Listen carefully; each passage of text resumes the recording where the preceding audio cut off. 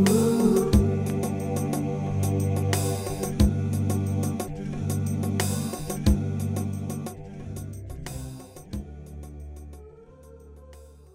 got such a big group. I'm actually going to, I think I'm going to skip a few groups. Is that all right?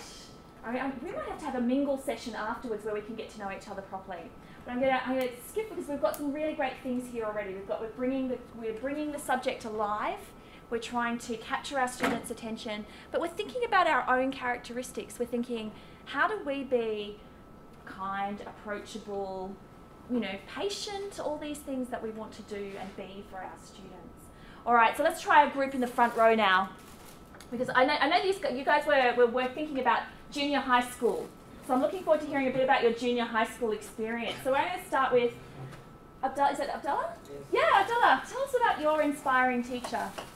Uh, to be honest with you, uh, I have memory like uh, golden fish. So I. Uh, a memory like a goldfish. yeah. So, What do you study? Yeah, I study uh, journalism. Journalism. Yes. And you have a memory like, well, that's probably, that probably says enough there, right? Okay, that's all right. So, your inspiring teacher? Uh, exactly, I, I don't know, but uh, I remember uh, some teachers. Also, I think uh, ge- uh, geography. I think. Geography teacher? Yes, he has a special way to to uh, teach uh, us, and very e- easy easy to uh, understand uh, him. Ah, okay, Yeah. great. Another really good point. Thinking about being easy to understand. This becomes harder when you're thinking about teaching university level courses. This becomes a real challenge. How do you take something? Now, you guys have been studying your subject for many, many years now. Many, many years, and you're engaging with the ideas in your discipline at a very high level. That's the nature of being a PhD student. When you come back to university and to teach, now you're thinking, oh, okay, how do I make this subject understandable, engaging, but something where a student who doesn't share, hasn't been on your journey, and, and truly this is one of the, the toughest things, is how do I, I know all this, how do I step out of that knowledge and think about it again fresh from my student's point of view? And how did your geography teacher do that? Make it understand, make it easy to understand. Just uh, support uh, uh, teaching with uh, uh, with photos with uh, with uh, support uh, for the uh, support for his lesson uh, with photos with other things. Frederick, that's actually a really good point. So Abdullah uh, also um, allows us to think about learning styles. Have you ever come across the idea of learning styles, even just in, in everyday talk? Like we learn differently. Someone's a visual learner, somebody's a really, you know, they like to hear things. Some people like to do things. There are some people who like to, to learn things, you know, physically, they move a lot.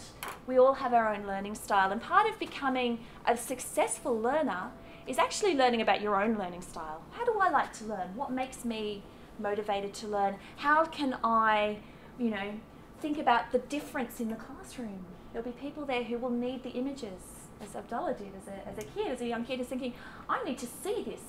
You can't just tell me about this, I need to see it. Right, so a good teacher is also thinking about that difference in their classroom, thinking about different learning styles. Now, sitting next to Abdullah, we have, is it Aziz? Aziz, your teacher, junior high school teacher. Were you the one with the junior high school teacher? Yeah. Yeah? That was 14 years ago. Um, one I would never uh, uh, forget. Uh, the way he taught us was uh, informal. Okay, Uh, yep. He wasn't uh, with going the formal ways. He was like easygoing, friendly, Yep. and uh, that was really touching. Yeah. I say, and yeah. Again, that's another really important one. That's relationships, right? Mm. We might be thinking about the content, and what's engaging the student is that they think you're a nice person and they, they feel they can come to you. They feel. We each have to do that in our own ways, of course, right? There's not one right way to do that. You don't want to try to be somebody you're not. You are who you are, right? And that's your starting point. But thinking about those relationships that you might develop with your student, I think that's a really, really good one. Mohammed? Yes. when I was in high school, there is a teacher named uh, Abdurrahman. Uh, he's teaching me uh, a computer, and uh, he was uh, a young that time. Uh, we thought first time he was a student, but actually he was our teacher, and he always uh, encouraged us to to learn something about technology and all this stuff. After the high school, I uh, I went to the university. I'm doing my I, I did my bachelor, bachelor in computer science. Also, So continued he to do- inspired you. yeah, he continue, really did. Continue doing uh, at that uh, time, and after that, uh, doing my master in computer science. Now I'm Yeah. doing the PhD at computer science. So he was. He's inspired you. Do you remember what it was about him that really inspired you so much? Uh, he was he was friendly, outgoing. Uh, he always listened to us, uh, like uh, like a big brother to us. Mm. So. Yeah. Again, relationships. This is really, Yeah. really important. A really nice theme that's coming out. Now, tell me, for all the people, when you're thinking about your, your, your inspiring teacher, who is now studying in that discipline area? Quite a lot of you. Not everybody, but quite a lot. I love the module. You loved, yeah, yeah, Yeah. love the module, but you, you did that, and that's and that's really, um, it's. I just want to say, it's, teachers can be really powerful, right? Teachers can actually really shape our lives, and that's something that I want you know each of you to hang on to when you go into the classroom. It's like, okay, I could be really changing somebody's life here. This is not just about a discipline. This is about, hey, how do I really, you know, connect with these people? All right. So, what we've learnt so far really is that there are lots of different things that make a good teacher. I can't give you a list of a good teacher does these five things, and as long as you do them and tick them all off, you'll be a great teacher. No, it's actually a journey. All right, it's a journey that we are all going to go on. Um, it starts now. It starts with thinking about yourself as a teacher, um, and it starts with thinking about those who have taught you. Because, as I said before, that's where you that's your starting point, right? You're going to try and and be the best teacher you can, but you're going to draw on that history of really good teachers. Now, here's where I want to learn from you guys even more. I'm already learning heaps. I'm already learning that there are some great maths teachers in Saudi Arabia and a lot of very friendly geography teachers and computer science teachers, so I'm learning a lot already. But also, I want to start thinking about your classroom. Now, I want you to be starting to imagine your classroom. Um, and so we're going to do another activity, and we're going to do it in teams because there's so many of us. All right, so we're going to have to we're going to have to break it up and do it in teams. And so basically, what I want to do is to start thinking about the classroom, and I want to think about what students do in the classroom, and what teachers do in the classroom, and what they should do in the classroom, and what teachers should do in the classroom. So basically, there's kind of like four. If you think about a page here, think about a, a sheet of paper, and think about breaking it up into four groups. All right.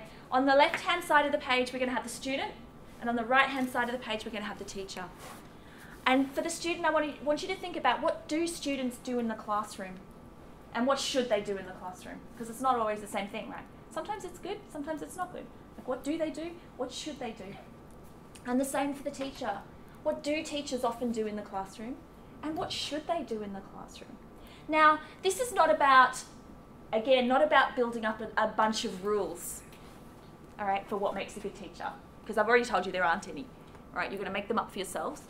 But it's about getting you to think about what are your assumptions about learning and teaching, all right? This is a, it's a, a method for getting you to unpack what you already think about learning and teaching and, um, and also, to be fair, I'm going to flag up front questioning that. All right? Good learning is actually about challenging your assumptions. All right? So I want to start by trying to unpack what your assumptions are. All right? So I'm going to ask you to work as tables, or in some cases, you've got small tables you can get together. Um, I'll let you be the judges. You're all, all very grown up and well able to judge that. Work in teams and see if you can come together to fill in these four squares on your paper all right and then we're going to we're going to share those together and we're going to see what do we already think about learning and teaching. All right and, we, and i'm going to challenge you to say oh is that true? What do we really know? All right wriggle around get into your groups start working and then we'll we'll see how we go. You can be your own team you can join those guys whichever. Uh,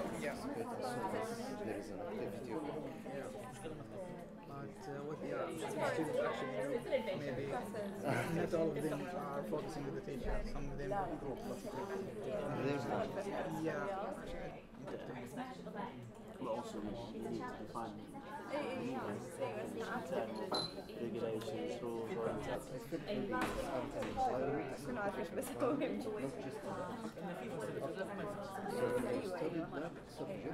Yes.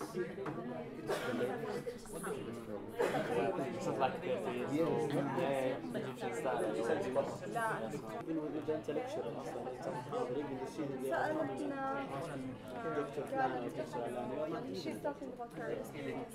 the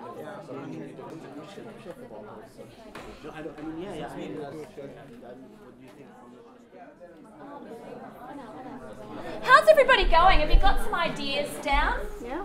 Yes. So let's have a bit of a let's have a bit of a share now. What we're going to do, I'm going to ask um, the groups to, to kind of share what they what they think, what the student does, what the student should do, and again we, we're trying to think. And jump in if you've got things that where it matches or where, where you've got contributions to make. Um, that'll be really, really valuable. And just because I started at the back last time, I'm going to start at the front this time. So we've got a group here. Let's start with the student. What do students do in your classrooms? Yes. In general, uh, they should listen and participate in most of the activities there. Okay, that's what they should do, but do they do that? Well, unfortunately, not all of them. They most, sometimes, not all of them. Uh, their attention just disturbed. I don't know why. Um, not paying attention? not, not paying attention and not participating in uh, in the activities, for example, or in the talk. I don't know exactly why, but uh, that. Uh, Okay, so we're going to try. We're going to try and understand why, and that's partly that's partly what I want to want to get to. So we've got this.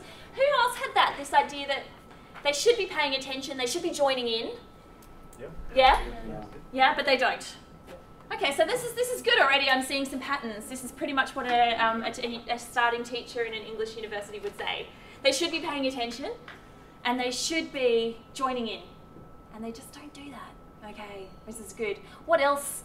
Um, I'm going to jump to another group now. I'm going to jump to this group. What what do your students do? Yeah, well, we, we've talked about both. That Can I talk about teachers? Yeah, go and talk about yeah. teachers. Yes.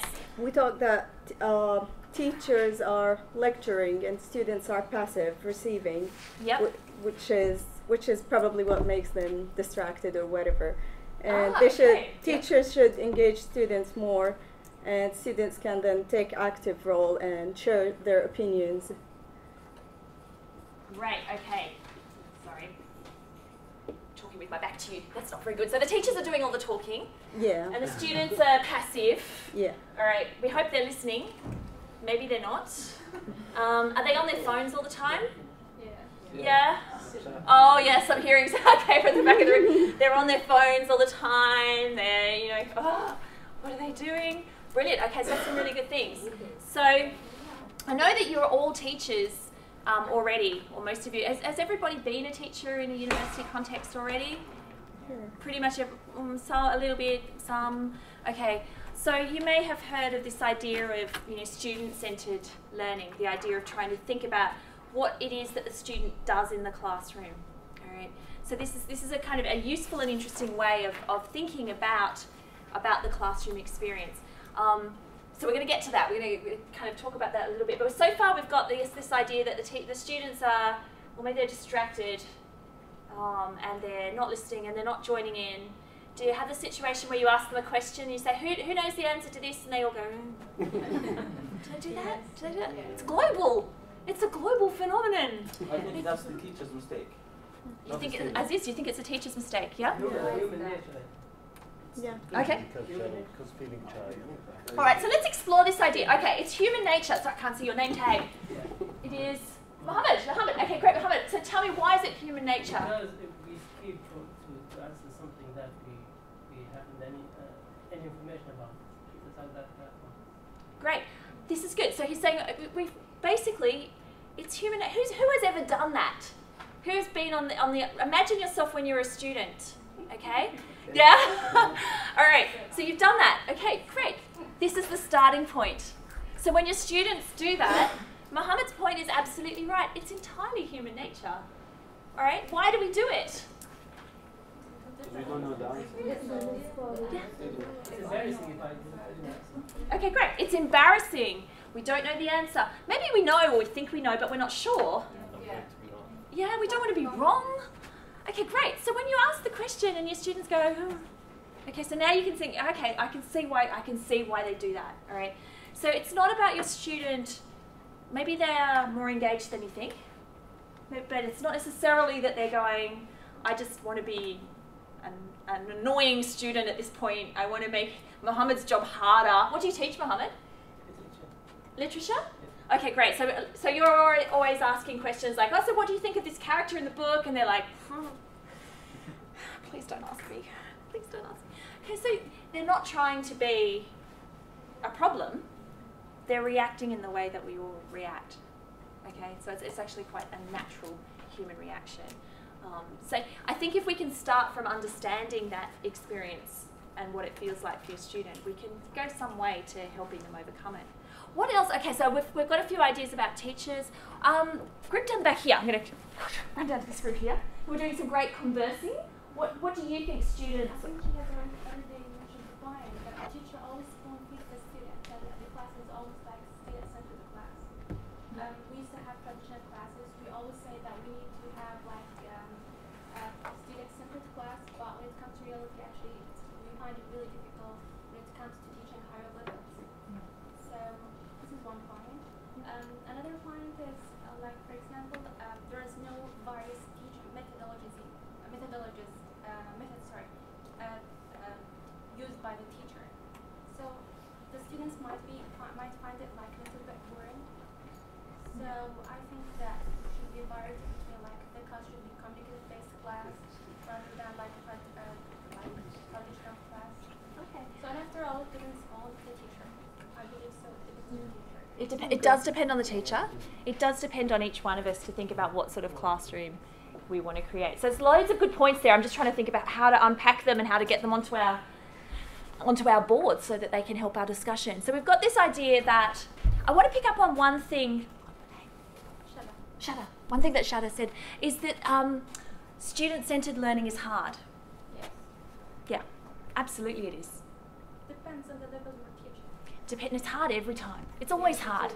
It's always hard. I, do you know what? I don't think there's anything that we could teach where it isn't easier just to tell you what the answer is. So you mentioned that you know spoon feeding. Like spoon feeding is, is easy, right? I mean, we just go like, what are the facts today? Let me just write those down. Okay, great. So I can go in, I can read out today's facts are. We can all do that because we can read, we can write, we can talk, right? We can all do it. That's the easy bit. Shada, you're right. Student-centered learning is always hard. It's always the harder option. All right. When I when I'm rushed, I'm much more likely to just go, look, here's the answer. Here's what the reading means. All right. That's because it is harder to think about it because you're trying to think about it from the point of view of well, what is the student doing? What is the student experiencing? And how can I start there and turn that into something helpful? That's always hard. Always hard. Yeah. There are Alright. also some other factors. The teacher might think about the time. Yep. For example, uh, if she has like a lot of information that need to be given, she will not like plan to give to make the students think or um, to do like a centered class Yeah. because of because she doesn't have that enough time. So there are also other factors that might contribute. Absolutely. And I think just like we're thinking about the student earlier and we're thinking like why do the students go we should always also think about the teachers. Why do the teachers go? Yeah, because they think like so do you have the situation where you have like a lot to get through and there's a lot of pressure and the students must sit exams and you want to make sure they know everything for the exam. So you're feeling like I've just got to cover everything because I want to make sure my students are prepared for their exam. Well, that's that's pretty normal too, right? And so I go, I just want to tell them everything. You need to know this. Okay. So when, when we think like that, what is teaching? Delivering knowledge. Ah, Aziz, is it delivering knowledge? What is it delivering? Is it right? Sorry?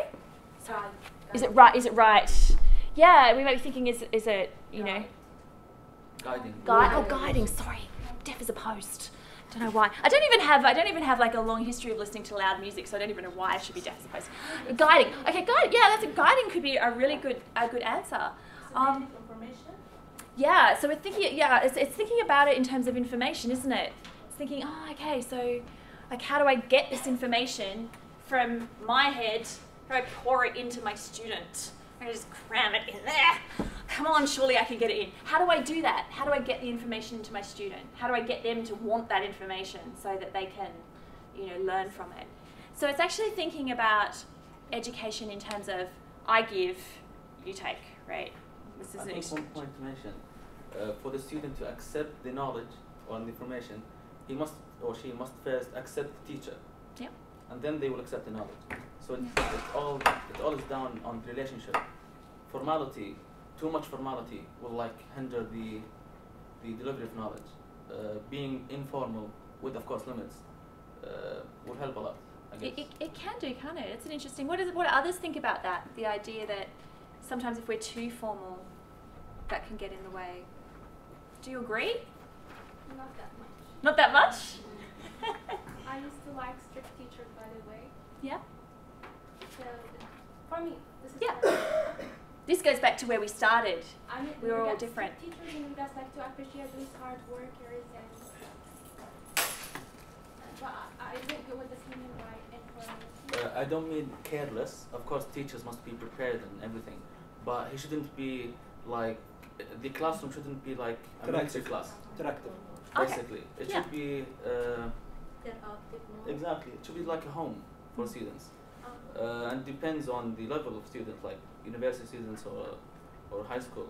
Uh, it, students must feel attached to the class first, and then they will they will accept the, the knowledge. They will engage in everything. I haven't been teaching, but that's Yeah, what I think. I think it's a really, really good point that Aziz makes. I wanted, I, I kind of want to build on this idea. We all have an assumption here that we've we kind of have assumed so far, that is that the te- the student should be active in order to learn. The student should be doing something, and this is a part of this this idea of student-centered learning.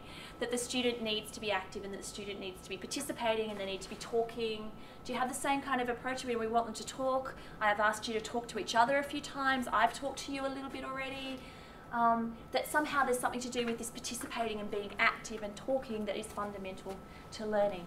And I don't know, I don't want to do too much um, theory of education, but the, but the whole idea, and I know some of you are, uh, some some of you are teaching um, majors here, so you'll know, know far more about it than I will.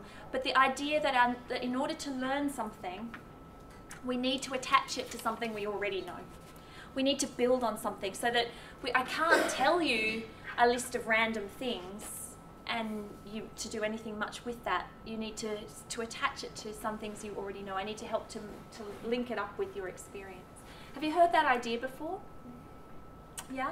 So that's that's really that's where this idea of the student being active in the classroom is coming from. It's coming from if they're being active, then hopefully they're connecting this new information to something they already know, right? That they're actually building on on that. Just kind of a theory of education. All right, a few last things. What else? Does anyone have anything we haven't talked about so far in terms of what the student does and what the teacher does? There are other things. So we, so far we've got the teachers doing all the talking, which is kind of pretty much what I'm doing right now. So it's kind of true We to think- form, right? Well, we think uh, as a table, the teacher must be rewarding Rewarding. Yeah. Okay, great. in a way. That's a really good idea. The teachers should be rewarding, or should be rewarding, and they're not always rewarding, right? Okay. Some are very obvious. What do you, is this what makes a teacher rewarding? How can a teacher be rewarding? By simply recognizing. Yes. Encouraging. Encouraging? Yeah. Yeah, great. Connecting with the students, encouraging the students to, to participate, to join in. Um, one of the things that I do all the time in my teaching, and it sort of seems a little bit weird, but I do these name tags. All right?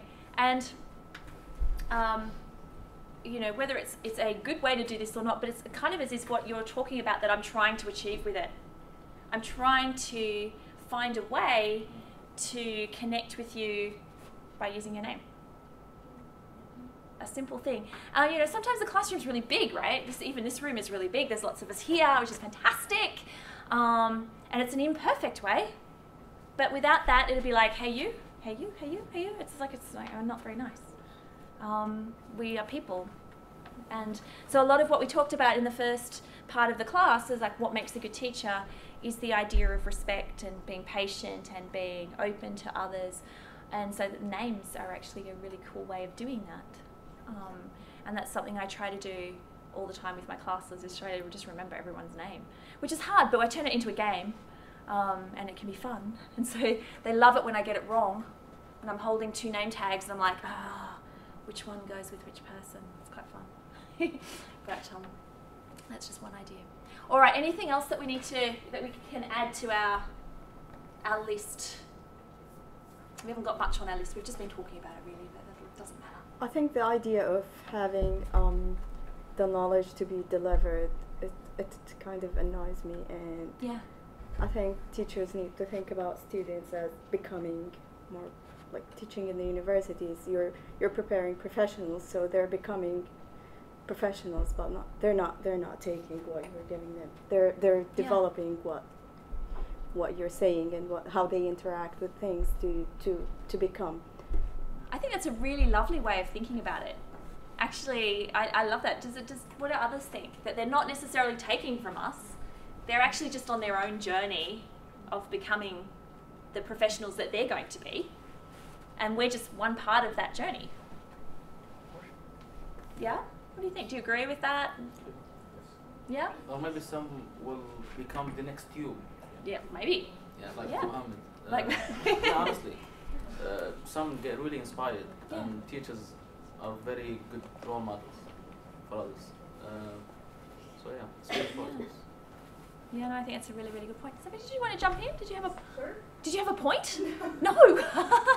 I thought you had a point down there. I thought, oh, okay. I agree. You agree? Yeah, yeah. I think it's, I think it's a really, really nice way to put it. And one of the things that I would encourage you to think about is how what you say and what your student hears can sometimes be completely different things.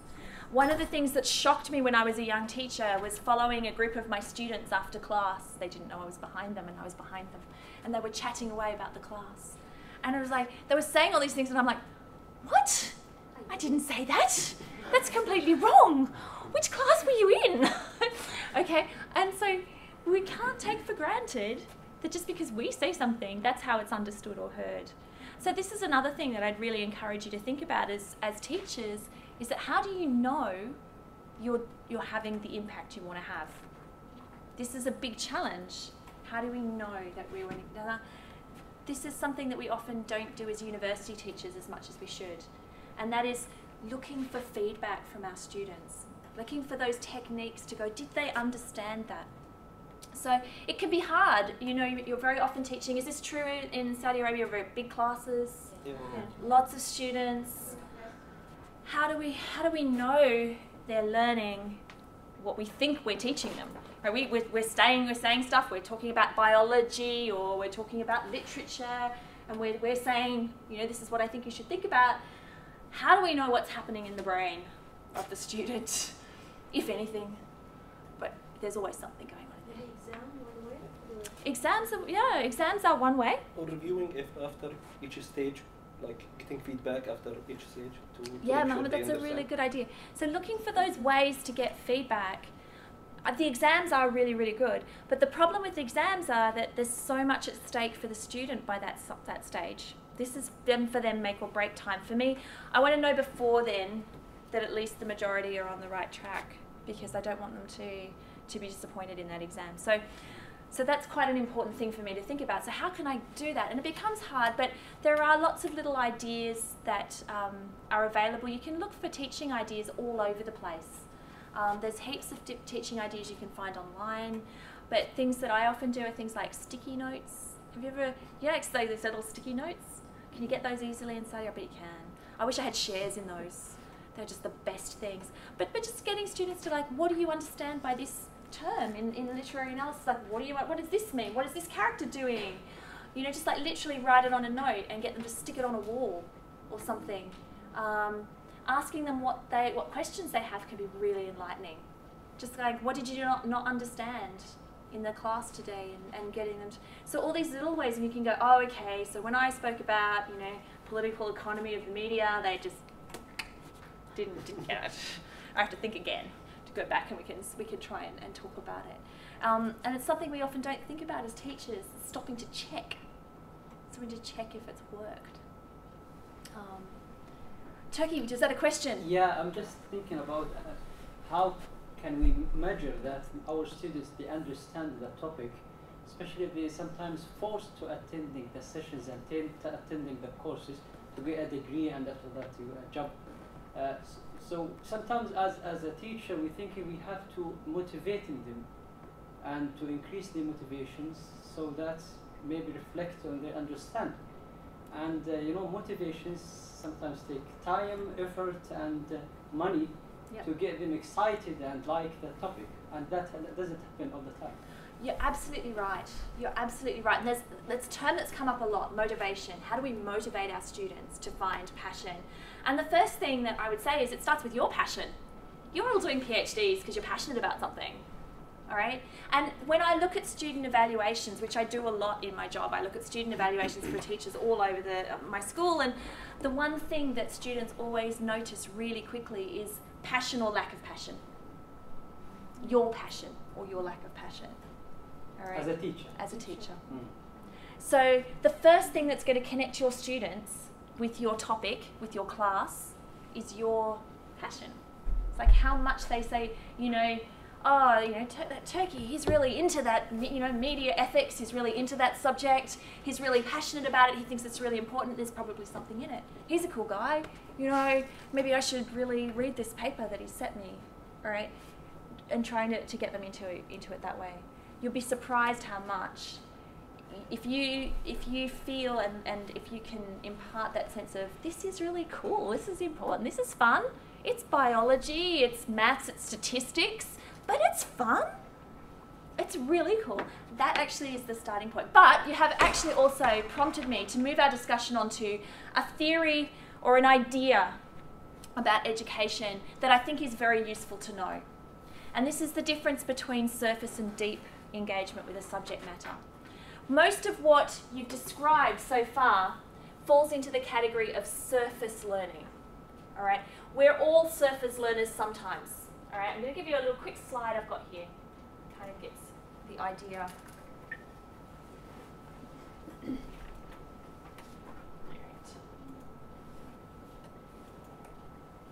Okay. So this is a, um, a book by a guy called Paul Ramsden, who I find very interesting on learning and teaching. Um, and he's, he's got, some great ideas and ways to think about your teaching. But one of the ones that I found very helpful when I was starting out as a teacher was this idea of how we as teachers can try to influence our students' learning approach, our learning style. So the first thing to recognise is, I bet you both, you, you recognise both these types of learning, right? Because you will have done both. We've all done both. Sometimes we are surface learners. And when I say surface learners, what I mean is we approach our learning as I've got to pass this module, I've got to pass this course, I've got to do this assignment, I've just got to get it done. What does the teacher want? What are the criteria that I need to pass? All these really practical questions, right? So we go, we might go to an exam and we might go, oh, I've just got to memorize the five different things in a cell so that I can remember them, so that I can fill in my diagram right in the exam. Um, it's coming from someone else. This is not about me. This is about the teacher, right? The teacher wants me to do this. So I've just got to get it done. but I really don't want to. Right? You, can- you can you can recognize this in yourself, I hope, as much as your students. It's not just your students. We're all like this sometimes. Um, so we're really about we're focusing on memorizing. We're focusing on being strategic. We're not thinking about the topic. We're just reading the thing for the information that will get into our essay that will help us to get past. We're not really engaging with the idea. Um, we're just focused on, on getting through. That is, I would, I would suggest that for most of us, that is a common experience, even in subjects where we're passionate. Um, and that it's, it's quite, again, quite human nature, all right? It's quite, it's quite a common thing. Sometimes we experience deep learning. Sometimes we actually think about our learning differently. We're genuinely motivated by what we want to achieve. This is not about the, the class. This is not about the, you know, the exam or the assignment. This is no, no, no. I really want to learn how to do that. I want to know what it is. I want to understand it. I really want to get it. And so instead of actually memorizing the information, we are thinking about it differently. We're thinking, no, what are they really saying? What does it really mean? How does it connect to this other thing over here? Right? So we're actually, so we've all also in this room all had that experience also of deep learning. All right? You don't get to become a PhD student without having that experience of deep learning. Um, that's what you're doing right now. Your PhD project is a project in deep learning. You're not memorizing some, I mean, you know, there's no point, right? It's a project that you're doing that's about, I want to, how does this work? How can I make this? So this is, this is deep learning and surface learning. So the important thing here is that your students have the capacity, every student has the capacity for both, and we move between them. Okay? Doesn't mean you're not passionate about the subject. Really good students will sometimes be surface learners in a particular context. Who knows why, but we are. Now, the thing that Paul Ramsden says is, as teachers, we can have some influence over this. Or we can seek to have some influence over this. And what we need to be thinking about as teachers is how we structure our learning tasks. So if you're thinking about, you're all going to go and be in a, in a, within a few years designing modules, designing programs of study. And the first thing that you need to do when you're designing a program of study is to think, what do I want the students to learn? So you have learning outcomes. You say, yeah, okay, what do I, what do I really want them to learn in this class, right? You know, at the end of it, what, am I, what, are we, what are they going to be able to do at the end of it? And then the next thing you're thinking about is, okay, well, how will I know if they've achieved it? All right. And what Ramsden encourages us to think about is when we're doing those two steps, and then when we go on to design our classroom activities, how can we design those activities to try and push them in the direction of deep learning? Right? So he encourages us to think about does the task, like an exam, just encourage the students to swat up on a whole lot of information memorizing? Or are there other ways I could test that same learning that they can't necessarily approach in the same way? So one of the first things that, that after reading this I did was to take exams out of all my modules. all right? Because I thought, well, hang on, when my students do exams, what they're doing is they're writing out a whole lot of information, they're memorizing it the night before, they're going in and they're doing a very good job of regurgitating that information in the exam, and then five minutes later when I see them, they've got no idea again, it's gone. I thought, well, hang on a second, I don't want that. I don't want them to do that. because One book exam? An open book, yeah, an open book exam. That's that's actually here's a really interesting thing: an open book exam. Once upon a time, education was about memorizing information because information wasn't everywhere. All right, it mattered that you knew stuff. Information isn't actually all that scarce anymore. Our challenge is no longer memorizing the information; it's learning what to do with it. And so, an open book exam is a really interesting idea because an open book exam says, look, the point is not the memorizing of the information. The point is the making sense of the information. It's, it's the deep learning bit. It's like, yeah, you can look up the information. You can walk out of the class, and next week you can go on Google and you can look up exactly the same information. It'll all be there. But what do you do with it? How do you connect it to something else? How do you make sense of it? How do you interpret it? How do you critique it? How do you engage with it? What do you do with it? The information's not the hard bit. So that was that was my first thing was to say, okay, what I did was, in fact, what my, the first thing I did was not necessarily to scrap the exam entirely, but to change it completely, so that instead of testing recall, I asked them to write something in an exam. So I said it's an exam, but you can't study for it. Right, there is no study, there's no cramming the day before because it's not going to help you in any way. The whole point is to engage throughout the semester and to try and learn these skills so that in the exam you can write the piece that I've asked you to write and you can do so in a meaningful way. And I found it helped the students to to approach the class differently because the class then ceased to be um, something that could be put off till later. Do you find that when you're when you're teaching a class that sometimes the students just go like, "I'll worry about this when the exam's on. I'll come back to it when the exam's on. Like I'm not really interested right now." So you may be talking, but I'm just like, you know, whatever. I'll get, I'll, you know, I'll get the, I'll get the recording later when the exam's about to happen, and then I'll swat up and I'll pass the exam. So this encourages us to think about student-centered learning. It, it encourages us to think about the student but also to think about how can we help to design tasks, class tasks, assessment tasks, that will push them towards the deep kind of engagement that we want them to have with our material. also recognizing that we all do both. We all know we do both. And that it's also really important not to, to, um, to cut yourself some slack, as we would say, like to kind of to recognize that this is a journey, all right, and that it's, it's, a, it's a process of development. How does that idea, does that idea help you to think about the different, the different things that you might be able to do? What ideas can you get from this? I'm thinking about the deep learning and the motivation, which, um, in um, thinking about making what you teach relevant to their future career, because people think that there is no value of, if, if they think there is no value for what you're teaching, they won't they won't give it much Yeah. like attention or whatever. So thinking about the making it related to what they're going to do after graduation and how it's going to help them in the future would make it more interesting. I think that's a really, really good idea. So wherever you can, thinking about, if you can hear, thinking about what is the connection between what I'm trying to teach and your bigger picture. Yeah. So sometimes, I mean, it, sounds like from what I was hearing when I was, was walking around the room, it sounds like there's so much similarity between the, the kind of teaching environment that, that you guys will be working in and here. Um, so it does feel very global. Um, but the idea that students often feel, well, what's the point? Why should I do this?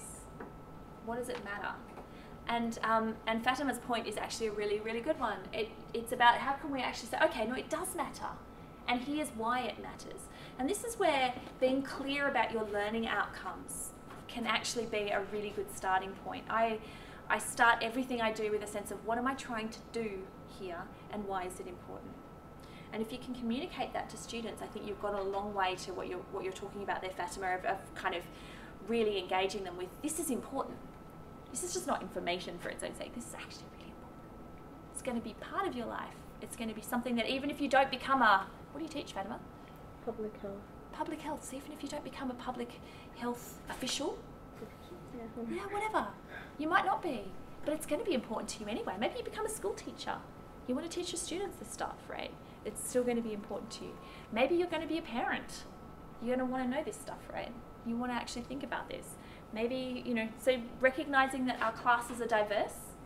You know, right now I'm blessed with the fact that you're all in here and you're all actually going to become university teachers, right? That's not true for every PhD student. It is true for all of you, which is you know, a really unique situation. Um, so that's a really good idea, Fatima, to actually say, okay, let's connect this, connect our teaching as much as we can to the real world, to problems in the real world, to issues that the students might want to engage with. Does that give you other ideas?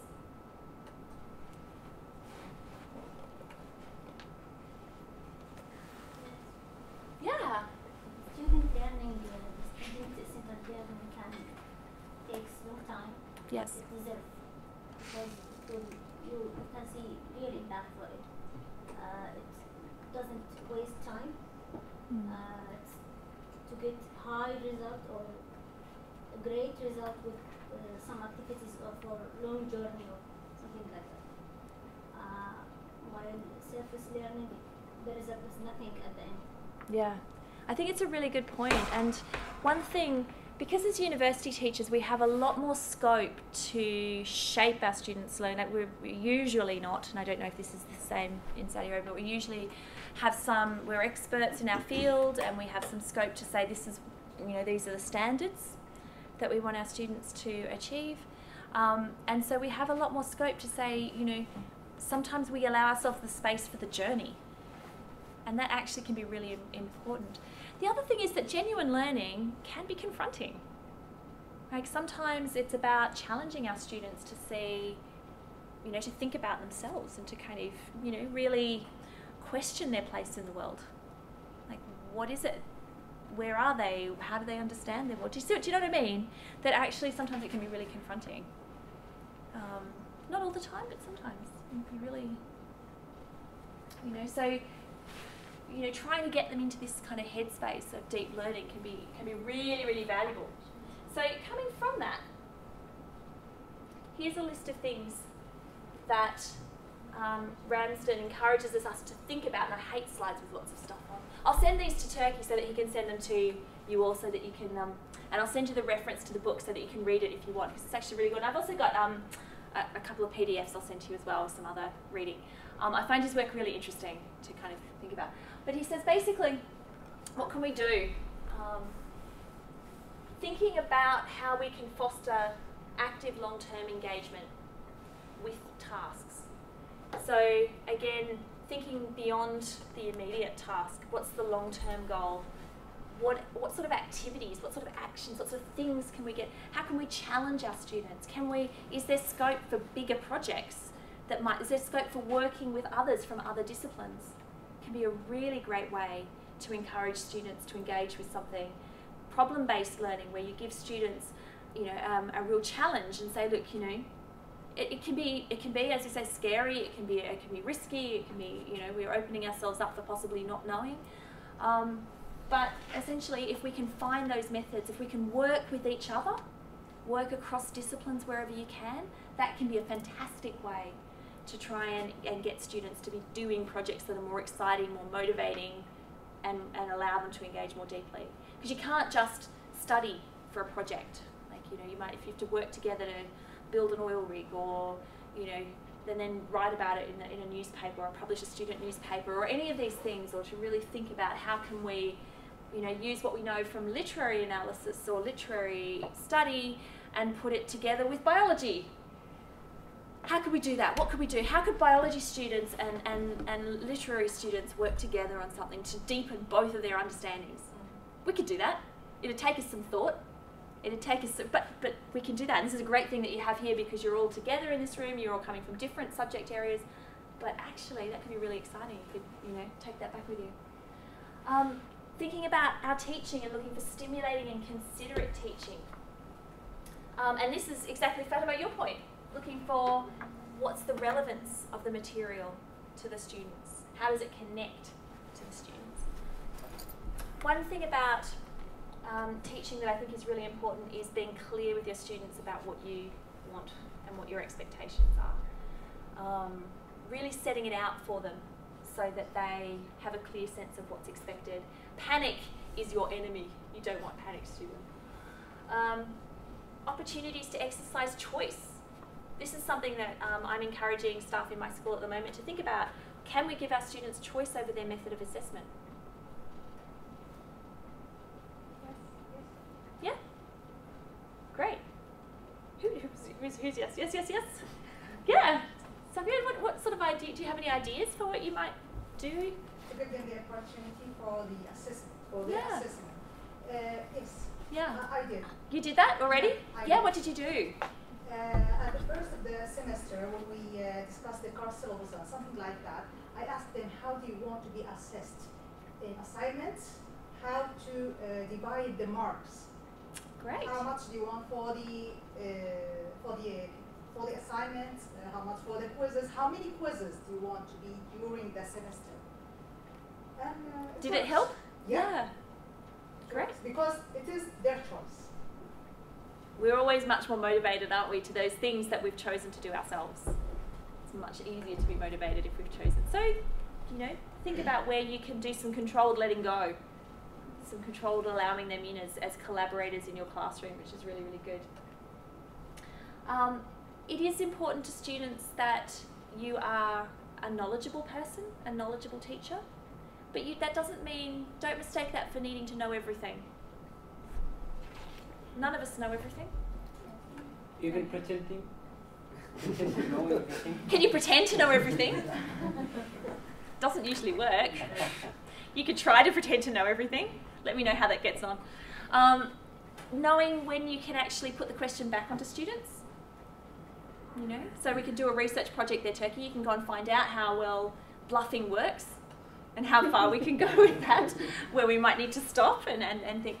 Um, but also not being afraid to say to students, I tell you what, that's a great question. I don't know. let's go and research it together. Let's you go find out, I'll go find out, we'll share our experiences and come back together. And that's the most valuable learning experience.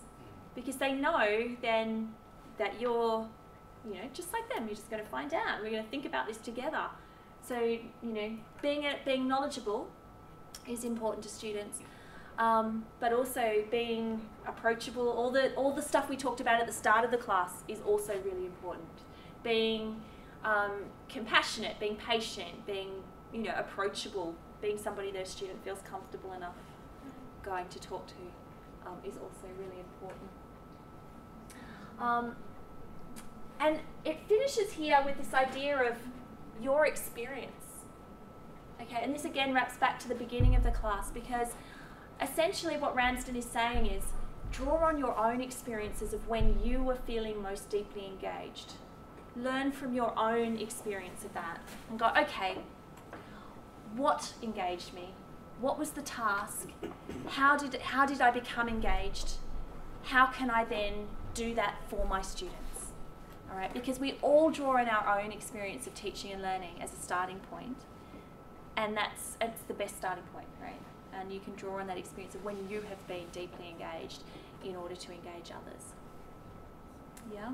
So that's why it is really, really important to think about your own experience. Now, I want to stop there because I've been rabbiting on for ages, and I know that you haven't been talking to each other and you haven't been talking to well, everything. So um, I do want to stop there, but um, I want to invite questions or comments or ideas, things that you think we should think about, things that are really important we haven't covered. Jump in. No looking at the floor. what do you think? What are your thoughts? I find it fascinating that the teacher, when I did my bachelor here, uh, I stumbled across some lecturers who admit they don't know everything. Yep. Because in my past, I always had the idea that a teacher is is a book, like he knows Yeah. everything. Uh, Encyclopedic. Exactly. Yeah, I remember in the days. I don't know if this is true, but in the back in the back in the old days when you used to have a great big collection of books in your house that was like everything Yeah. from A to Z. We don't have that. We have the internet now, but yeah, that, that's a good point. It, it actually uh, drives the uh, the relation between the student and the teacher. The Knowing as a student that the teacher is also a learner yeah. by itself is, is a good thing. I think that's I think that's a really really important thing, especially today, because we're all always learning, right? I mean, um, in in um, Abdallah in journalism, you won't keep up with your students. I'm just giving you advanced warning that it, it's changing so fast, right? I mean, all of our subject areas are changing so fast. Um, the students will know more than you about some things, right? I did get a certain pang of anxiety whenever I'm talking social media with my students. Just like, oh, what what new platform do I not know about now? Which new one do I have to? Okay, but um, yeah, I think that's a really important important question. Yeah. Uh, what if uh, my students weren't interested uh, about uh, some subject like mathematics? and this is, I, I think, a common problem with the mathematics teacher. I think it is a common problem because because obviously sometimes students have to take mathematics at university and they didn't Yes. choose it. They, They, they came because they loved They biology or physics or something else and they don't don't see the point. Do you think you could connect it to what they are passionate about? Do you think that would help? So if you found out, for example, that your math students were there to study biology or chemistry or micro something or other, um, that you could say, oh, look, this is really interesting because it's really important over here in physics for this reason. Would that, do you think that would help? You don't know? It's it's worth a try, I think. I don't I don't think so because No? uh, if they were uh, Arabic uh, department students for la- language, for example, uh, I don't think they will use statistics. Yeah. So No, they would use. they will use it in biology, in, in biology, but in language. Yes. For research. For research. Yeah. If they use it Yeah. research. So this is the way to encourage them that if you if you want to continue what you're doing, you might need to Uh, know I at least basics. So it's just I understand her point. I think she, what she means is that, uh, for example, I'm doing computing. Yeah. Why, why do I need to study sociology? Yep. In the States, uh, they give you core modules uh, that you don't use in your own career. Mm. Uh, that's what she means, I think. Yes. Yeah. Uh, I think it's great, but you know what? Well, my first degree is in biology and science. Um, I then went on to study philosophy before doing a PhD in communications. Nothing's ever wasted. Okay? Nothing's ever wasted. Um, when I was writing my PhD, I drew on what I knew from my experience of working in the media because that's what I ended up doing for a job. I mean, like as a science graduate with a background in philosophy, you end up on, on TV and radio. Of course you do. That's what you do. Um, but none of it's ever wasted. And I think the challenge for all of us as teachers, and this is where the dialogue between us is actually really important, um, is to say, you know, sociology to a computer scientist, how does that fit? I reckon we can make it fit. I reckon we can say, actually, do you know what? It's really important to think about. How do we know how society works? Because only once we know how society works will we actually, you know, if you've ever thought about computing from the point of view of sociology, what would that mean? Actually, that would be really interesting because that would help you then to go, okay, how do people use computers? How do computers impact on society? What's the, what are the ethical impacts of my work? How can I think about this differently? Disciplines are like lenses, are like cellophane. I'm going to pick up on my, I, I like cellophane. Do you know that stuff like that's kind of stuff that you look through and the world looks different? Love that stuff. All right, disciplines are like cellophane. All right, you look through them and you see the world a certain way. All right, isn't it lovely to take that off and come around here and go, put on a different colour? How does the world look different now? The challenge is doing that because it's really hard. Doing a PhD is like taking that cellophane and sticking it on your face, right? Now I'm kind of I'm seeing the world red because that's what I do. I do red, and I just see the world red. Okay, and it's and it's really hard to take that off because I've just spent how many years, you know, four or five years gluing it on there to see the world that way, and now I need to take it off and I need to think of the world a different way. But actually, there's a tremendous value to you as a researcher and as a teacher in doing that. Your, if you can understand why sociology might make your computing science like better, that's going to help you, but it's also going to help your students. And that's the challenge, and that's why I think the best thing you can do to be a good teacher is actually talk to these other guys in the room and network so that when you become an academic, you, you, you're able to take the cellophane off and try different colours on. Why do we make the burden only on the teacher? Like, and not the students as well. Yeah. Like, for the whole uh, organization, I mean, the university, for example, uh, for an engineering bachelor degree, they do 170 hours, for example. The people who set that 170 hours should actually uh, justify why they did that. That will help the teacher to link what you just said Yeah. between two modules. I think that's a really, really interesting point. Um, my experience of teaching is that that is my, my job is to say why I chose 170 hours or whatever, however many hours it is, that I do have to justify that. And I do have to say why I'm asking my students to do what I'm asking them to do.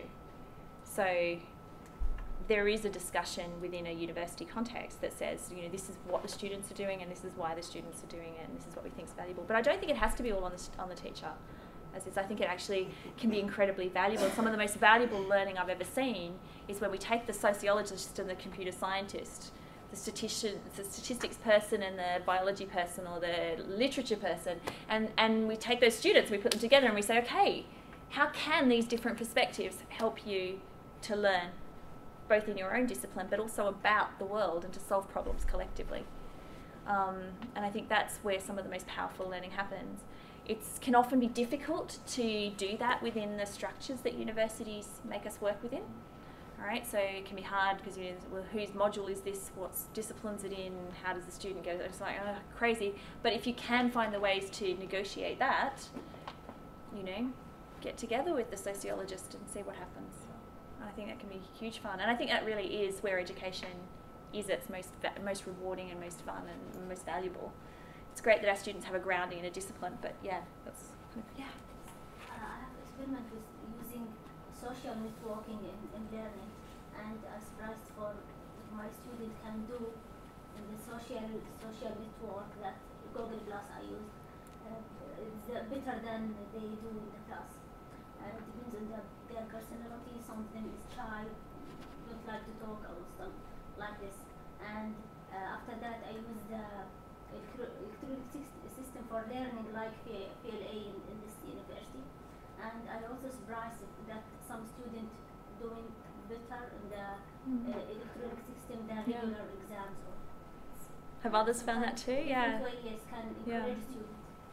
I think it's a really, really good point. So thinking about different modes of, of engaging students and how those different technologies allow us to overcome. Because I don't know about you, I was a really, s- I was a really shy student. Was anyone else really shy? I was exactly like that. And yeah, me too. Think something about biologists, right? We go into.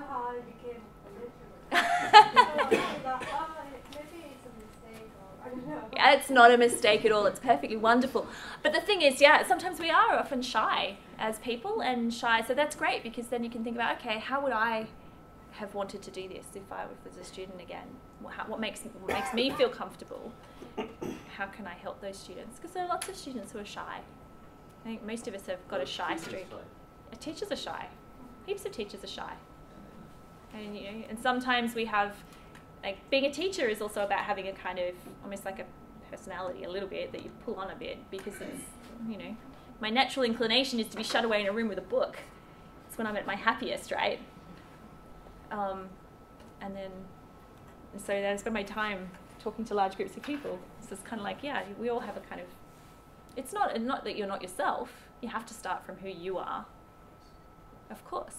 Um, we can't well that's why you can't just say oh this person's a great teacher copy them so it doesn't work we have to be who we are but there is also a kind of a performance part of being a teacher There is a skills that you have to learn to, to be a teacher, to be a professor, like uh, how to to uh, contact with the with the student, how to like using the body language, how using eye contact, using the voice volume, all this stuff. Yeah, I think you're absolutely right. And the, the sad thing is, you won't be taught that as explicitly as I would like you to be taught that. Most of us, and I don't know if this is the same for you, but most of us start teaching by being shown our classroom door and say, right, in you go, give it a go, see what happens. Is that, is that how you started? Yeah, it's kind of irony, isn't it? Like the higher that, we teach, we don't, we were teaching at university level, and we start our teaching with like, yep, well, there's your class, off you go. See you in an hour. Hope it goes well. Yeah, good luck. Yeah, in you go. Hope it works. Um, and so we actually, so I think you're right, Mohammed. I think you do learn those things, but I think the reality is you'll learn them as you go. Okay, we all will. Um, one of the things you can do for each other, um, again, this is why I think one of the, the great things about this network is that you can meet each other here and I hope take this back with you into your careers. Um, meet each other because you can support each other to do that. If you can find peers in your network that you enjoy being with and that you feel comfortable being with, one of the best things you can do for each other is to go and sit in each other's classrooms. You don't have to know the subject. In fact, it kind of helps if you don't. Um, to sit in each other's classes and to you know to have that conversation with each other that says you know I'm really worried about or one of the things that I'm always working on is do I do I talk too much in the classroom? Do I talk too much? Um. Um, do I talk too much in the classroom? So I will invite people into my classroom and go, look, I think I'm still talking too much. Can you come and sit in my classroom for a bit and just see, like, are the students talking to each other or I, because when I'm when you're teaching, you can't do that, right? You can't you can't see what everyone in your classroom is doing. So can someone come into my classroom and sit there and say, am I, te- am I talking too much? Are the students having enough chance? That can be a really helpful thing. It's really, really helpful for your development. Don't try and do everything. Don't just just pick one or two things that you want to work on, that you think you want to work on. Am I too shy? Am I loud enough? Is my is my am I doing too much flapping around with my hands? Is it getting in the way? Do I say um all the time? Whatever it is. Everyone's got something, right? Can you can you come and watch and see if I'm clear enough? Whatever it is. That's a really good thing you can do for each other too. I would just really encourage you to make the most of this fantastic opportunity that you have to get to know each other, to really like meet and get to know each other. Yeah. Sorry, but I feel a simple way, just like you face your peers- peers. I mean, for example, if you're afraid to teach a large number of students, just face it and try to teach a large number of students, even if you don't like or if you are afraid. Even if, for example, if you are worried to teach a certain module or subject, force yourself to teach the subject in order to get get rid of that fear. So I think this is like the simplest way to overcome this shyness or this fear. Um, yeah. Fake it till you make it. Absolutely brilliant advice, as is. Fake it till you make it. I think that is absolutely brilliant. In fact, the reality is, I, I don't know about the context that you might go and teach in, but most of us don't get much choice anyway. Most of us are taught there's your classroom, there's your module, it's got however many hundred students in it, and off you go. So I think you're absolutely right. Um, in a sense, just just do it. Um, is a really good bit of advice as well, because you're just going to have to do it anyway. Um, and and thinking about how you might get through that, because it can be really challenging. It can be really scary, but yeah, I think it's true. Let's just do it. and you might not find it the same way as your student. Yeah. I think that's really true. Not making assumptions. To go back to our activity about the students, is like we, you know, we think about what the students do and what they should do. Why do we think that, and how can we under- how can we try and see it from their point of view, which I think is really important. I think we have to wrap because oh look, we're, we're running out, we're running out of time. I was hoping you'd get a chance to talk to each other. Been great to meet you all. Um, Thank you. Yeah, no, I had to. oh. We want to thank you for your delivery, for been a delivering this. Ex- it, it's actually an interesting and useful workshop. So, somebody got the leads. Oh, my wants to word. Thank you and appreciate your, Oh. your time and effort. Thank you so much. That's You're welcome. that's way over uh, over and above. Thank you so much. That is very special.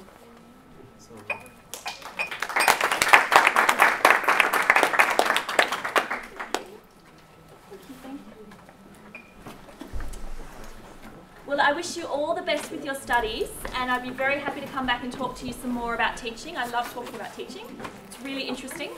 Um, and if you have questions or if you'd like to do other workshops, you know, just let me know. Thank you. Thank you. Have a good evening.